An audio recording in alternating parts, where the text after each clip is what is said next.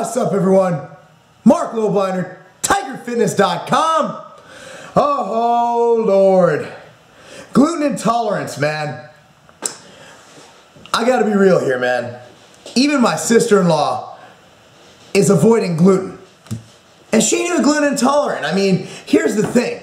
You know, I'm looking at this, and celiac disease is a real issue. If you have celiac disease, you don't think you have celiac disease. You're really, really, really fucking sick if you have celiac disease. I mean, you're in a world of hurt. Your stomach's hurting, you have no appetite, you have weight loss. Okay, so if you're fat, chances are you don't have celiac disease. You have trouble eating. And let me go into this. I'm actually going to reference Alan Aragon. He has a piece on the paleo diet where he goes in to gluten intolerance. Check it out. Celiac disease is a gluten-dependent autoimmune disorder of the small intestine and affects about 0.3 to 1.2% of the population. That's it. Not more, not less, okay? Now, gluten intolerance is also called non-celiac gluten sensitivity, um, and there's no diagnostic criteria. So you can think you have it, or you can get diagnosed by one of them fucking hippie doctor professors that fucking sits on Venice Beach or something, but at the end of the day, it's all fucking bullshit, okay?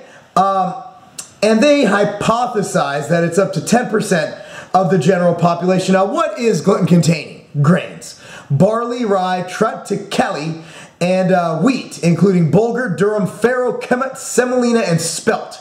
Now, gluten-free, amaranth, buckwheat, corn, millet, oats, quinoa, rice. I mean, those are all gluten-free. Now, here's the deal. Um, gluten grains, they're healthy, okay?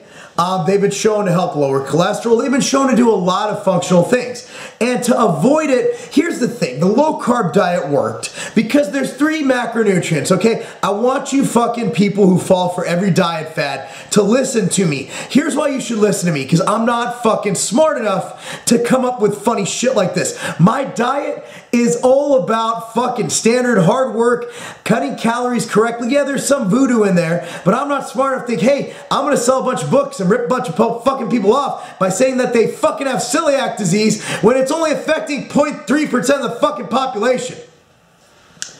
Okay, here's the deal.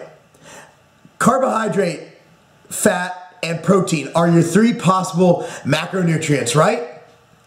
Uh, you know, calories per gram containing macro, not, counting alcohol and all that shit. We're gonna assume that doesn't exist. So if you were to take one third of that out of your diet, you're gonna fucking lose weight because your calories are gonna naturally go down. How many fucking pork rinds can someone eat? So that's why the low carb diet causes fat loss. The reason this is fucking stupid is it's not a lifestyle one can work. Now, I was just talking to my wife about this the other night. You know, the funny thing is, the one lifestyle diet, the one diet that cuts something out that people stick with, the only reason they do it is because of, uh, well, sometimes it's lifestyle, but a lot of times it's more ethical reasons. That's vegetarians. Vegetarians, more respect to you for sticking to it. But the gluten-free diet is not long-term. Eating those fucking 20 pound loaves of fucking bread made out of rice or whatever the fuck these gluten people eat.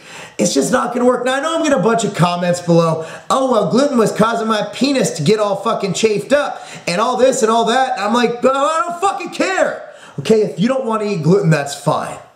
But Nothing makes me more mad than with someone who digests wheat and everything. Oh, well, it was making my tummy feel a bit weird. What the fuck does that even mean, man? My tummy feels weird once in a while. It happens, you know, and it's not going to be most likely grains causing it. There's so many reasons to avoid different foods. gluten is gluten is not a bad thing. Okay, grains are a good thing.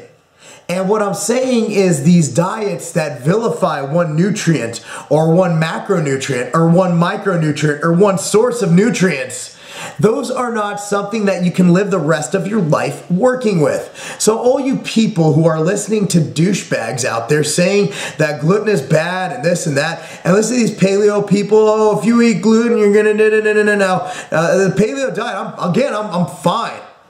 With the paleo diet, I'm fine with the gluten-free diet. I'm fine with it.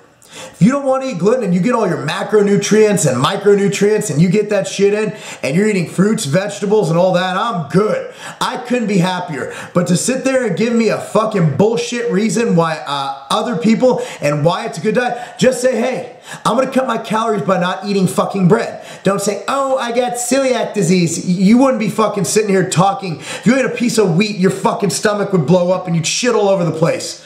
All right? That's my thought on gluten-free diets. This was sent to me. Who the fuck emailed me this, man? Ah, uh, man, I'm not even giving the man props. Ah, uh, Mike Renkrika. All right?